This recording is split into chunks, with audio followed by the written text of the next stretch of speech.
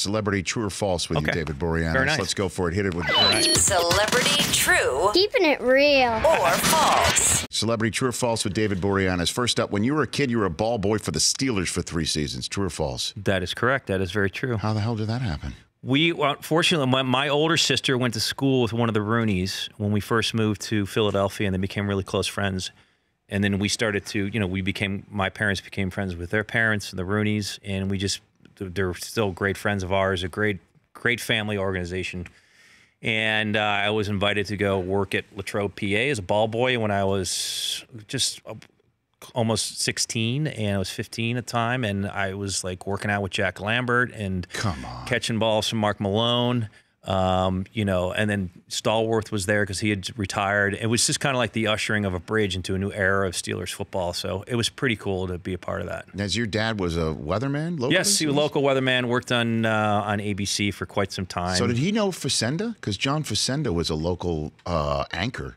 I mean, but I don't know if No, they no. passed. They never did. You know, No. John Facenda was a, lo- a voice of NFL films. Okay, was a local yeah, yeah. anchor in Yes, Philadelphia. Yeah. Well, I was I was brought up by Cap City people because my father worked for Cap City at the time, and uh, I was kind of like around that whole era of those Okay. guys. So Just, just took a shot on that one. All right, next up, you started a nail polish line called Chrome Girl, and this has a line with a set of NHL colors. Is that a true story? that is a true story, but it was actually set up through my. It was my wife who actually got that going with Okay. her partner.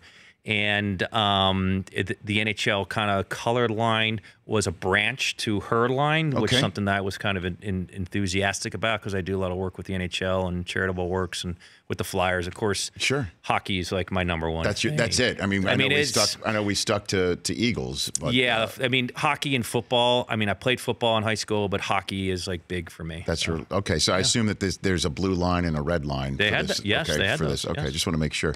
Uh, last one for you, David Boreanaz. True or false? You were featured in a music video of Dido's 2003 White Flag. True or Getting false? all these trues, man. Yes, is- these are- this is very, true? This is very true. Yes. Okay. Yeah. How did we get hooked up with Dido? I here, have no idea. I do remember that they were like, We're looking at it on the do this. Uh-huh. cut this music video, and I didn't know who Dido was, but they explained to me how great it was. There you are, checking your I was. watch. You look like you're a guy who was had someplace to go. I was, I don't know.